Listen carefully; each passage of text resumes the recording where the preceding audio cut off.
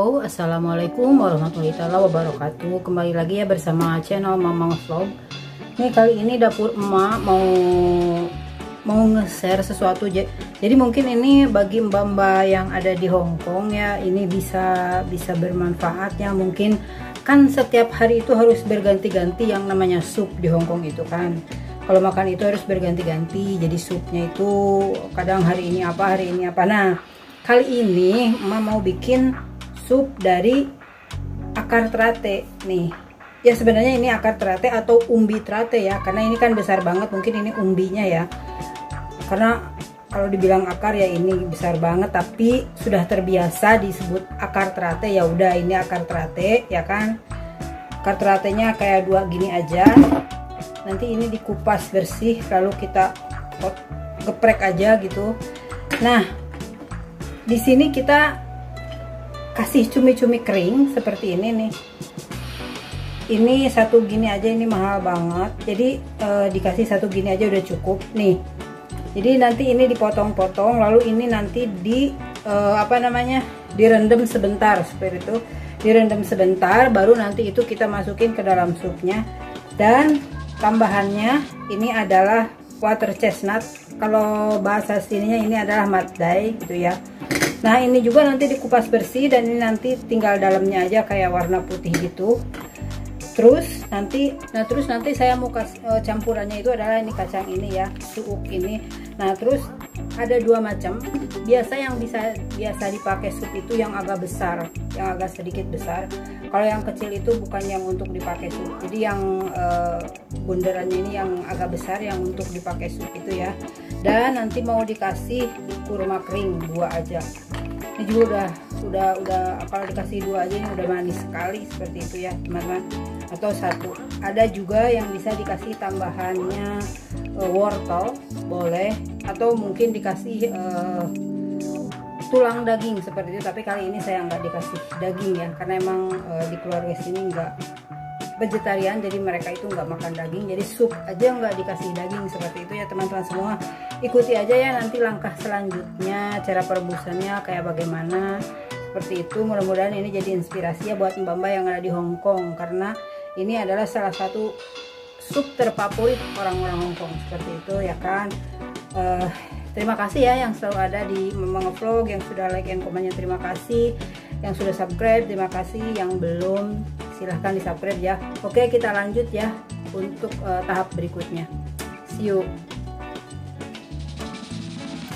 Nah ini akar teratenya sama uh, water testnya udah dicuci bersih udah dikupas kulitnya dan dicuci bersih. Nah nanti ini pakai pisau kayak digeprek gitu aja pak gitu kan nanti akan hancur uh, ada juga yang kayak diiris-iris bundar gitu tapi kalau saya enggak ya jadi udah terbiasa kayak dihancurin di pukul pakai pisau besar jadi ini nanti hancur. Seperti itu ya teman-teman. Lanjut ya. Nih ya kan tuh. Ini uh, akar teratenya bagus banget tuh. Bersih tebal lagi dalamnya tuh. Nih milih jadi milih akar teratenya pun harus benar-benar sudah bisa ya. Jangan yang kayak di dalamnya yang jelek itu jangan ini bagus banget tebal banget tuh. Water chestnya udah saya hancurkan semua ya jadi kayak seperti begini. Ini udah semua saya cuci nih. Apa namanya uh, cumi-cumi keringnya udah dipotong-potong dan direndam tadi sama itu adalah kacang tanahnya. Seperti itu. Kita siap rebus ya teman-teman semua. Nanti gimana hasilnya seperti itu. Nah ini juga kalau kita nggak dikasih daging atau apa jadi saya juga bisa kayak ikut minum gitu. Oke. okay ini ya kita udah siapkan air sekitar 2 liter. Karena apa? Karena nanti mau direbusnya sekitar satu jam setengah dengan api yang kecil. Jadi nanti ini airnya pasti akan berkurang. Seperti itu. Kita masukkan aja semua bahan-bahan yang tadi ya. Kita masukkan uh, apa namanya kurma keringnya masukkan cumi-cumi keringnya juga masukkan saya sampai lupa ini tadi kacang tanah. Lepotan ngomongnya kacang tanah dan masukkan juga lingaunya. Bahasa sini lingau ya kalau akar terata itu. Seperti itu. Biarkan ini mendidih 15 menit dengan api besar baru nanti dikecilkan direbus selama satu jam setengah. Seperti itu ya teman-teman semua. Jadi nanti sarinya keluar dan e, mereka bilang diminumnya nanti enak seperti itu ada rasa.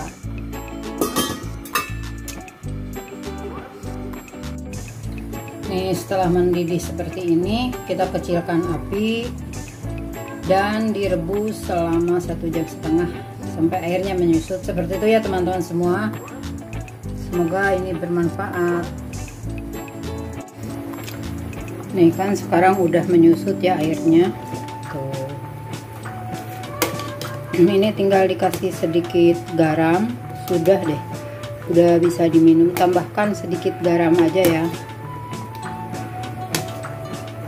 Karena e, cumi-cumi keringnya juga udah asin seperti itu. Udah bisa diminum deh ini. Minuman sebelum makan dan sesudah makan tuh harus ada sup kayak gini dulu ya teman-teman semua kalau di Hongkong ini udah siap dimakan tuh udah siap disajikan